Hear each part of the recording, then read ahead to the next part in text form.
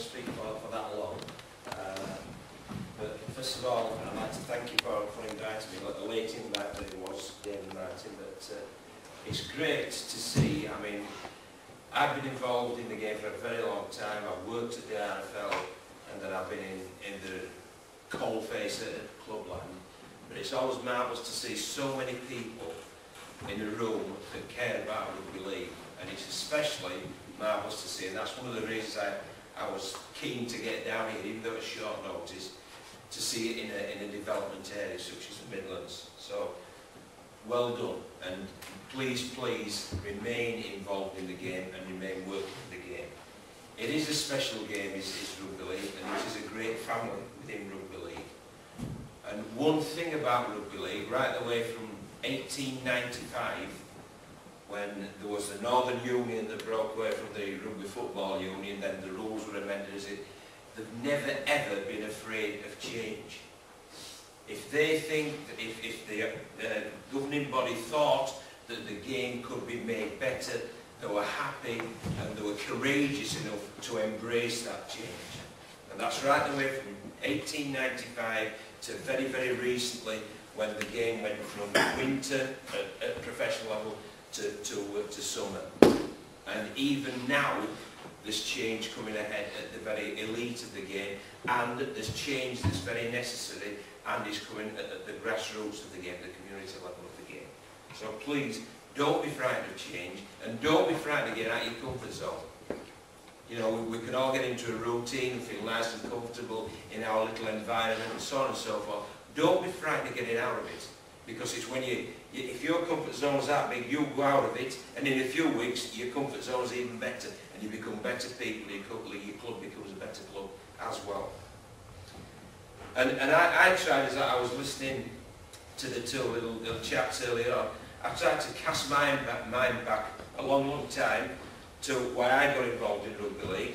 Uh, I didn't really have much choice really living in Castleford, right opposite to the Wheldon Road ground, where you used to nip, out, nip in and see him train on a Tuesday, on a Thursday night, and Friday night before they played on, on, on, the, on the Sunday. But why I really got involved in rugby was just because it, it was fun. And it's been a word that's, that's kept coming through all the time.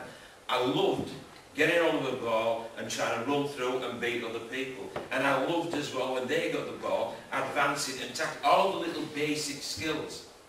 I love catching, I love, I love throwing, I love running with the ball, and I love tackling. And as, and as the game develops, develops, obviously, you get into the kicking and, and the finer arts of it as well. And I also got involved for fun, but I got involved because I wanted to get better. It was my little dream when I was a little kid, it was to, to play for Cas. I had to be living where I lived.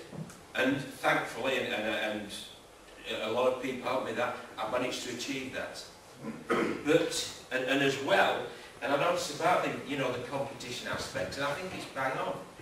We need to get participation, we need to get involvement, but also you've got to realise as well, competition comes as well. You're not telling me if you put a kid of 13 with his mates playing against another kid of 13 with his mates, there's going to be a natural competition anyway. You want to win. So it doesn't necessarily have to be within a structure and reported back, because when you're involved in sport, you're a competitive person. And I think those are the three reasons that I got, I, I got involved for fun, to get better, and that competition within the team element. And you and, the, and you can provide for your players with this structure, all of those. And I also think, as an administrator or as a coach as well, that your job's pretty simple. I mean, I, I'm, my philosophy on coaching is, it's a KISS philosophy, keep it simple. And I think it's a, it, that should be a philosophy right across the game. And as a coach or administrator at the community level, you're, it's pretty simple what you're trying to do. You're trying to provide the best environment for your players to improve and, and for your players to enjoy. And that just comes with structured practice, structured games, and a bit of positive feedback at the end. So let's not try and complicate things, let's keep things simple, but let's remember why we're involved. And just finally, having said all that, you need to look as well, it, I mean, you're talking now about under 12s, under 14s, under 16s, how do we get them best to develop? Well, there's been question marks, obviously, at international, internationally, yes. We've got to admit that. The Aussies beat us regularly, the New Zealanders now are getting to beat us regularly. We need to improve at that level.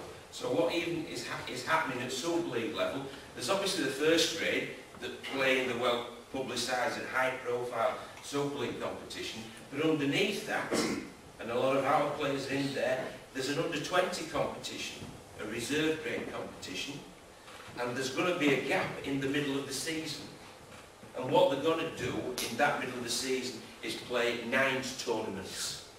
And the theory behind that is the very fact that players are going to have to be better at the very basic core skills of rugby league. And that's even going on with full-time professionals are in the 20s competition. So I would suggest, if that's the way the, the governing body are looking to develop, even at the elite end, I would suggest that these guys have got it pretty right in trying to do something similar, similar at the, at the very uh, bottom end. And I do hope that you, you buy into it. I do hope that you, you question all of us if you want about our beliefs and so on and so forth. And I do hope that you try and implement it. Because I'll tell you, it's obvious that you, you care about the game, which is great to see, and it's obvious that we can spread the game if you put these things into practice. So please have a go and enjoy whilst you're doing it. Yeah, you've got a reputation of, of, of bringing underdog teams and making them win cups and, and getting to playoffs, etc. So I was wondering what you put that down to.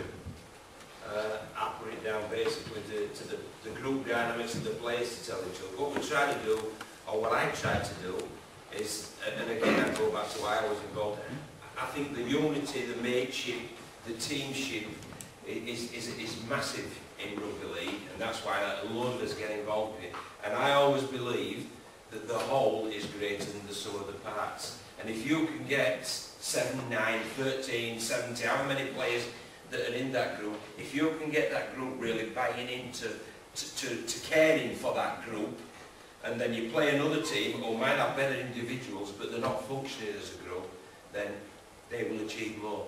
And, and that's something we try to we try to create a, a performance environment that develops that, and we enforce consistent standards, and, and, and we try to develop good norms within the group, so we we all buy into the fact group is greater than individuals, and, and that's something you can still do, whether it's 7, 9 aside or 13 aside. You say we're falling short internationally, John, now uh, to Australia and New Zealand. At what point do you think is that paradigm shifts that we're not good at? Are we good enough at the youth level, or do we need to fundamentally change the way we do things with the grassroots? I, I think, I think, I mean, this is, uh, when I go to England and, and we got to the semi-final, you know, they were say, oh, the players, this, the coaches, this, so and so. But what, what Steve McNamara is, and what Jamie Peacock is, and what the international, they're representatives of us, basically. And they show how good we are from the grassroots right the way through to the elite. And there's no doubt in my mind that the minute we are behind the, Australians, and they've got I think they call it mini mod rugby, don't it, over there, which is very, very similar to, to what's trying to be introduced here. And you'll see Australian players, great, great skills, great, great decision making, very, very competitive, all the things that can be developed through this. And I think it's got to start at that age. And, and that's why I say the national team is our, it's a reflection of us. And, and that's why we need to put structures in hand from, from seven right the way through to Super League so that we can continue to develop and, and improve players as they progress along that pathway. If you were to stand up in Wakefield and give the same presentation about 11, 13 and 14s, what sort of reaction do you get from the parents who've used to 13 side games Yeah, I, I think obviously with, with things like there's the champion schools, etc., which is in there. But what, you, what you've got to realise is there's, there's lots of sevens and nines played at, at school level as well. So it's, it's not an, an alien thing. But the from template structured as this. But also what you've to realise as well, players have got to be educated, and there's a lot of education without the players really knowing it in that M62 corridor.